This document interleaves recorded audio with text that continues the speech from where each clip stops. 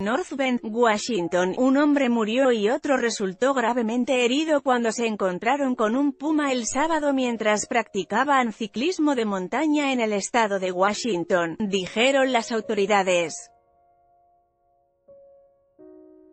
Foto, AP Las autoridades dijeron que los dos hombres estaban en un paseo en bicicleta por la mañana en las estribaciones cerca de North Bend cuando ocurrió el ataque.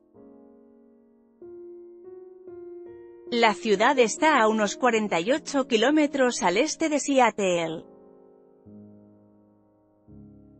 El león de montaña corrió hacia el bosque y los oficiales del Departamento de Pesca y Caza de Washington lo rastrearon y lo mataron a tiros, dijo el capitán Alan Myers de la Policía Estatal de Pesca y Vida Silvestre.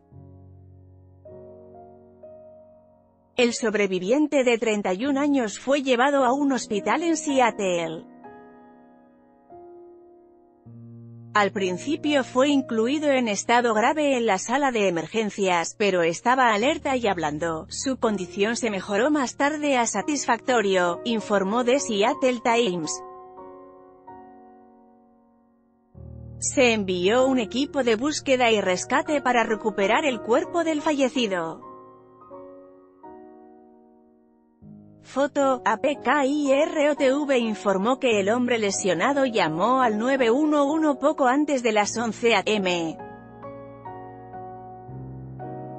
Y gritó, «¡Me oyen! ¡Ayuda!» y luego la llamada colgó. Las autoridades encontraron al puma parado sobre el cuerpo del motorista muerto, informó la estación. Foto no estaba claro de inmediato si las dos víctimas andarían en bicicleta juntas o por separado.